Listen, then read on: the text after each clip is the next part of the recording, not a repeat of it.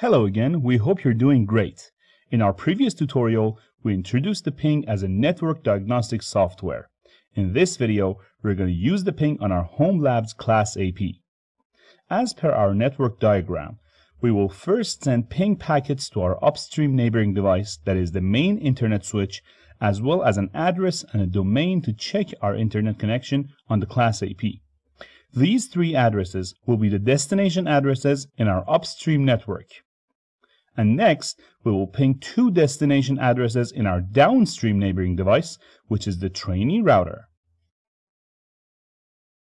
On the class AP, we have two out interfaces. The upstream out interface is Ether1, and the downstream out interface is WLAN 1. Anytime we send a ping packet, the packets using ICMP will exit either of the two out interfaces we'll be checking the connectivity of both out interfaces for their respective networks. Moreover, if you recall, we had set two source addresses on our class AP, namely 172.31.252.100 and 10.00.254.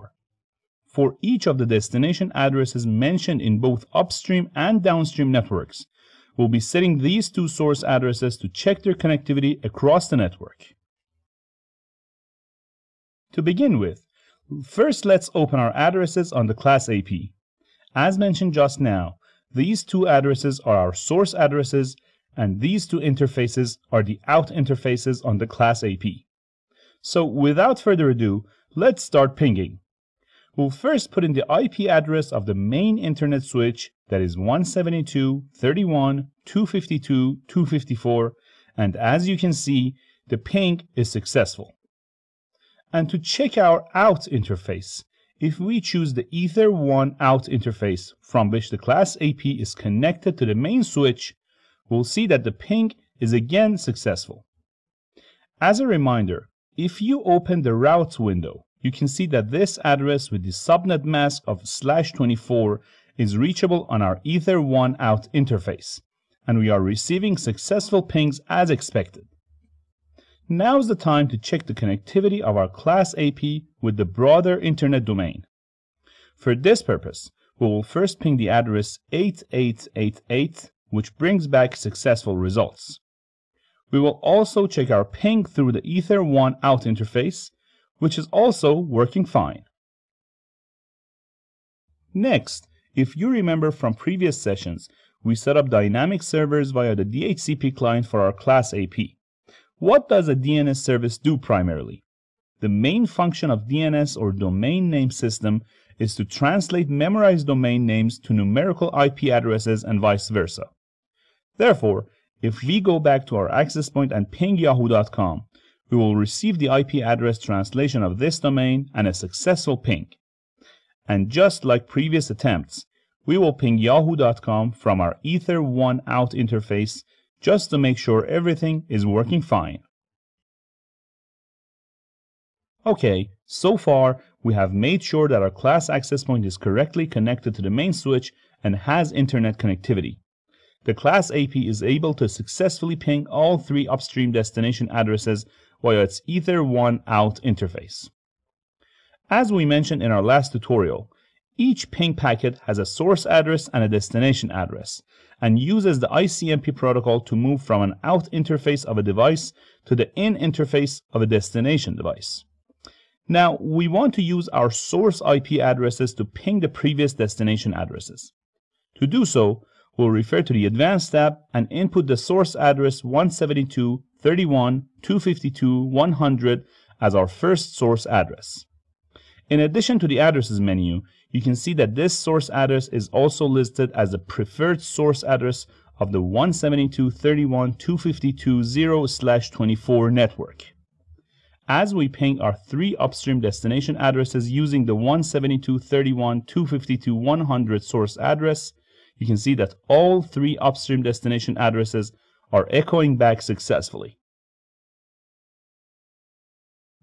As for our other source address, that is 10.0.0.254, it is listed as the preferred source address of the 10.0.0.24 network. Once we input this address as the source address of our ping packets, we will see that the class AP fails to ping all three upstream destination addresses and we receive timeouts for these three ping attempts.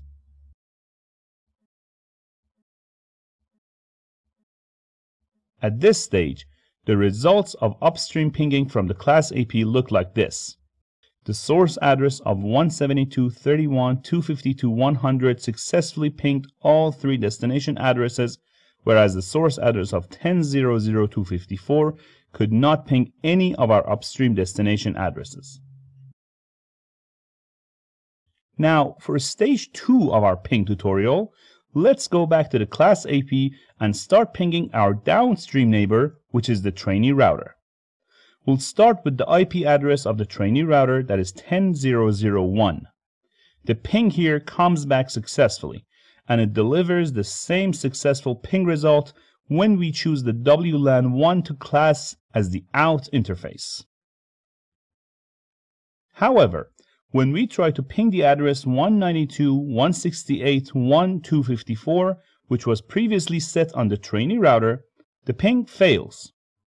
The same ping failure also happens when we choose the WLAN 1 out interface to ping this destination address.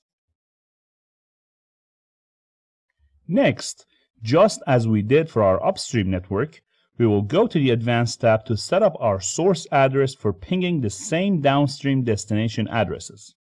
First up is 172.31.252.100. This source address successfully pings the destination of 10.0.0.1 on the trainee router, but again comes up short when we try to ping the address 192.168.1.254. As for our second source address on the class AP, that is 10.0.0.254, the ping is successful for the destination of 10.0.0.1, but similar to previous attempts, this address cannot ping the destination of 192.168.1.254. So the results of our downstream pinging look like this. The WLAN1 out interface of the class AP as well as its two source addresses were able to ping the destination of 10.0.0.1, but none of them could reach the destination address of 192.168.1.254. Based on these results, we have two questions for you.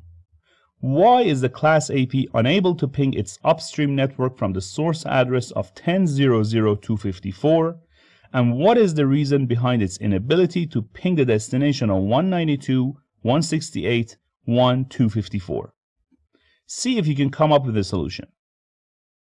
That's it for this session.